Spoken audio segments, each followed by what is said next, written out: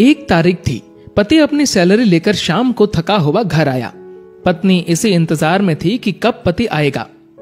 पत्नी ने उसके आते ही उसे गर्मा गर्म चाय पिलाई और पूछा कि, सैलरी आ गई होगी आपकी आज तो? पति मुस्कुराहट के साथ बोला कि हाँ और इस महीने ओवर टाइम का बारह हज़ार रुपए बोनस भी मिला है। पत्नी की खुशी का ठिकाना नहीं रहा।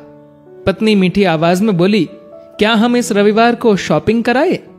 तो पति बोला कि ठीक है, लेकिन सिर्फ़ एक शर्त पर, कि यदि तुम हफ़्ते में कम से कम एक बार मेरी माँ से फ़ोन पर बात कर उनका हाल पूछोगी तो पत्नी ने दबी आवाज़ में हा कर दी।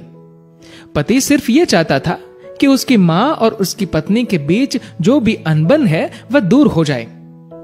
ठीक दो मिनट बाद पति के मोबाइल पर माँ का फ़ोन आया। उधर से माँ बोली, कैसे हो बेटा? बेटा बोला माँ, मैं ठीक हूँ।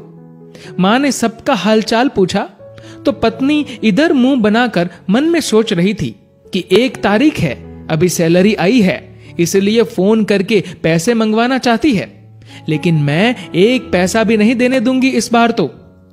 उधर माँ बोली, बेटा, थोड़ी मदद चाहिए। तो बेटा बोला, बोलिए माँ, क्या हुआ माँ? बोली, बेटा, इस महीने पाँच हज़ार रुपए मिल सकते हैं क्या? पति हर काम अपनी पत्नी से पूछकर ही करता था। उसने ये बात अपनी पत्नी से पूछी तो पत्नी बोली कि बोल दो कि अभी सैलरी नहीं आई है। बेटे ने माँ से कहा कि माँ, अभी सैलरी आने में टाइम है। माँ बोली, बेटा, कैसे भी करके भिजवा दो प्लीज़, हॉस्पिटल में इलाज के लिए चाहिए। पति ने यह बात पत्नी से दोहराई। पत्नी बोली, माँ से बोल दो कि सरकारी हॉस्पिटल में इलाज करवा ले।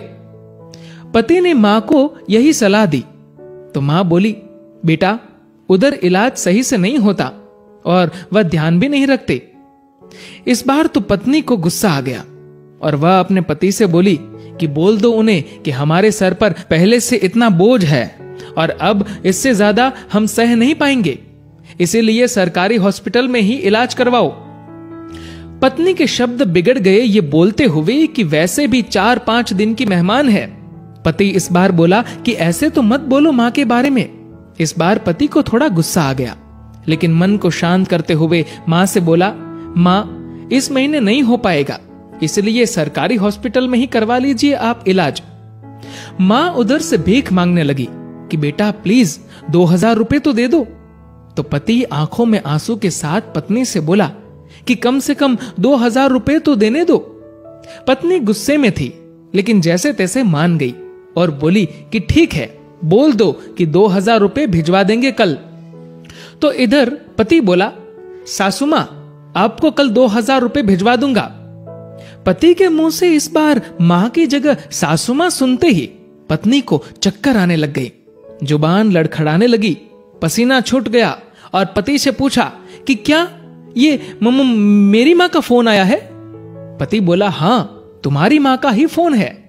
मैं तो तुम्हारी माँ को भी अपनी माँ ही समझता हूँ। लेकिन तुमने कभी मेरी माँ को अपनी माँ की तरह समझा ही नहीं। पत्नी इस बार ज़ोर से रो पड़ी और फ़ोन में माफ़ी मांगने लगी कि मुझे माफ़ कर दो माँ, मुझसे बहुत बड़ी गलती हुई है। तो उधर से माँ बोली, बेटी, यदि सिर्फ़ एक माँ का दिल दुखाया होता तो माफ़ कर देती, लेकिन तुमने तो आज एक नहीं, बल्कि दो माँ का दिल दुखाया है। यदि आज मैं तुम्हें माफ़ भी कर दूँ तो भी ऊपर वाला तुम्हें माफ़ नहीं करेगा। दोस्तों, ऐसा माना जाता है कि अगर ऊपर वाला भी माँ का कर्ज चुकाने आ जाए तो वो भी कंगाल हो जाए। एक माँ खुद मौत के मुँह में जाकर ज़िंदगी को जन्म देती है। उस माँ का सम्मान करे।